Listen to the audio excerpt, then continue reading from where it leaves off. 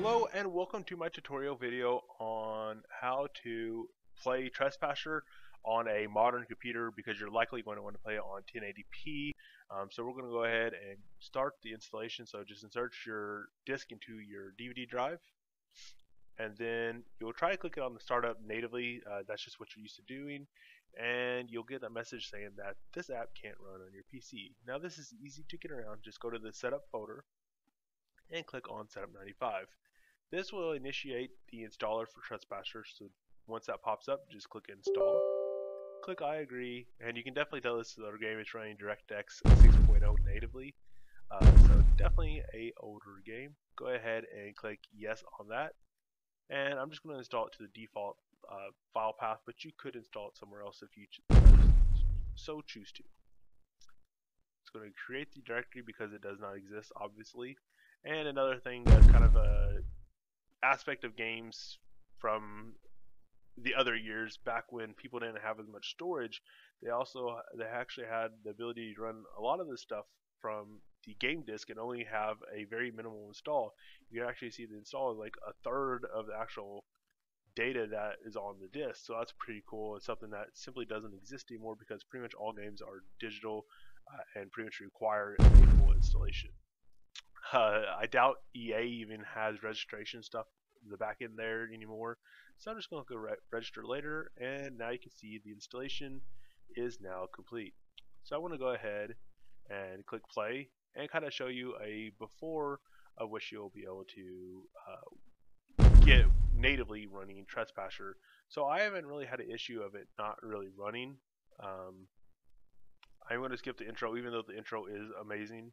My name is uh, John you can already Parker see here Hammond. that I get this weird artifacting on the display. Uh, it's actually kind of hard to read how much it goes up to, but it looks like it's somewhere around uh, maybe eight 800 by 600 or something around those lines. Uh, but definitely not a great experience at all. If you play some older games, you might have seen this like kind of purple and green uh, kind of texturing before, like uh, if you played the, the, original version of StarCraft, for instance, uh, you've likely seen that at times when it had issues or something along those lines. So now I want to show you how to fix that and actually play Trespasser on a modern computer. Alright, so to fix Trespasser to run on a modern computer, you're going to want to navigate to trescom.org slash patches. Uh, Trescom is an amazing community for Trespasser. They've been around forever, or at least as long as I can remember. Uh, and there's a very good app, uh, or a patch rather, that adds DirectX 9 support, which is still rather old, uh, even in today's day and age, um, but it is enough to get Trespasser running very well on a more modern computer. You have uh, the ability to run at 1080p. Um, I don't know if you can go beyond 1080p, but you can at least run on 1080p, which is a 16 by 9 aspect ratio. So even if you're gaming on a higher uh, you know resolution monitor, at least it'll it should scale nicely um, from there. So go ahead and download that zip, and then you're going to want to open up that in your downloads folder and go ahead and extract that. So while we're waiting on that to download, which won't take much time simply because it is a really small file, uh, I'm going to go ahead and open up a secondary file and drag it to the left of my screen so that it snaps to the left side of my screen. Over on the right side, I have my downloads folder open I'm going to go ahead and extract all those folders and files. And then on the left side I'm going to go open up my PC go to my OS drive and go to the install directory for Trespasser. So if you did not change this it'll be the same directory path that I'm going on which is OSC uh, program files x86 DreamWorks and then Trespasser. So the files have been extracted over on the right what we want to do now is extract once again uh, the Trespasser CE.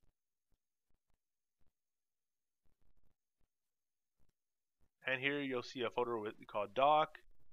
Uh, then you also have trespass 6 and then trespasser. So we're going to go ahead and copy these folders over to the main folder on our installation directory you'll now see you actually have two different launchers. You have the original uh, Trespass launcher, uh, and you want to click continue to do this for all items.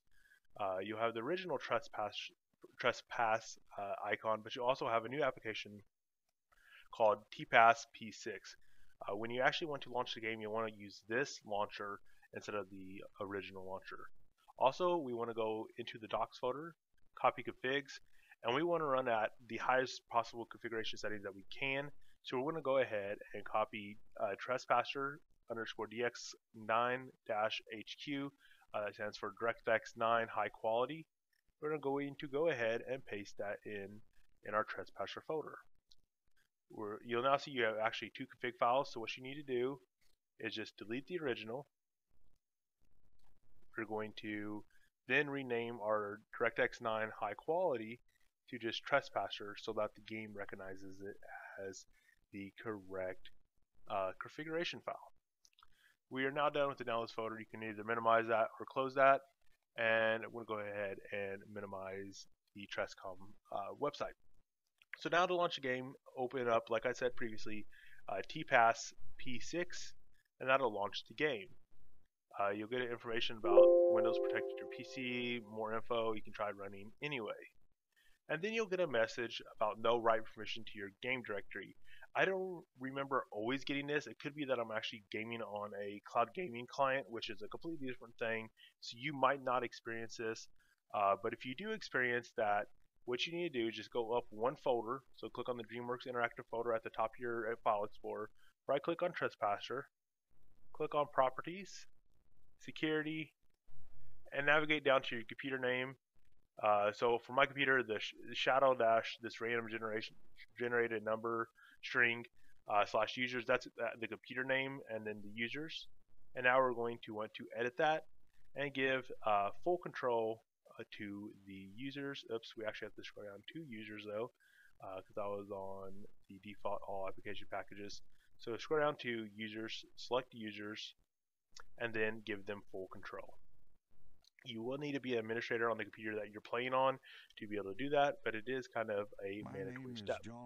So there, you should be able to go to TPass 6, and the game will launch.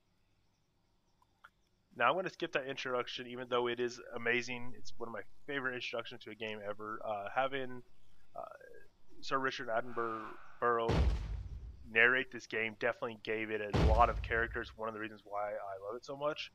Um, but now we can go to the video settings. You can actually see I have the option. Uh, I didn't actually mean to collect, select a new video driver, but that is an option. Um, but you can go here and do some configuration too. Uh, so you can see the texture resolution is set to maximum, uh, and I'm running at 1980 by 1920 by 1080. Uh, but you also see that once you go to the video setting, you don't get that weird artifacting and everything along those lines. But you can adjust the quality uh, and the screen size here, and you can also adjust the brightness. You will still notice that it is in the uh, 3 to 2 aspect ratio right here. But once you actually open up the game and launch the game, it'll actually go to the correct resolution. Uh, I'm going to let it skip that in the little introduction part too. So the menu loading screens are still 3 to 2, but the game itself is now in the 16 by 9 aspect ratio. Uh, you can see the game looks pretty good for a game of its age. Definitely a very fun game. Uh, so now you can actually play it and fully enjoy it without any black bars, you know, on the sides, for instance. So there you have it guys. I hope you enjoyed this tutorial on how to get Trespasser working. It's a very, very fun game. Um, you can kind of play around this area in sandbox. You can throw some of the th smaller rocks. It has like a pretty realistic physics.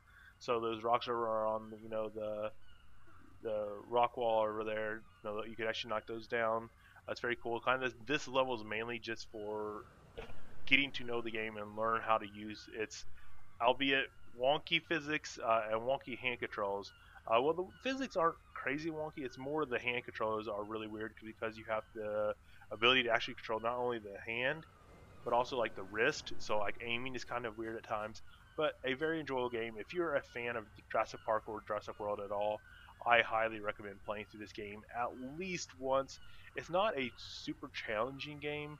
Um, once you've played it a couple times, like I have, it's it's fairly easy. The dinosaurs aren't crazy smart.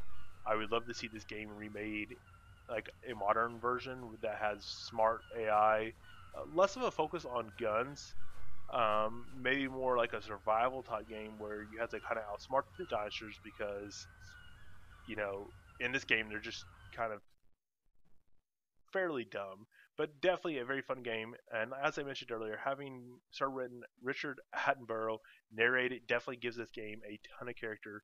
But once again, I highly recommend if you are a fan of Jurassic Park or The Lost World or Jurassic World at all, the Jurassic Park universe at all, I definitely recommend playing this game at least once just to have that experience um, of playing it, going through the narrations, hearing that, and kind of having the ability to kind of look through Isla Sorna, even though it's not the exact one from the movies. Uh, it is a very cool redemption and a very cool kind of addition and expansion of the Jurassic Park universe. So thanks for watching, guys. I hope you enjoyed this video. If you did, give it a big like. And once again, guys, thanks. And until next time, Zach out.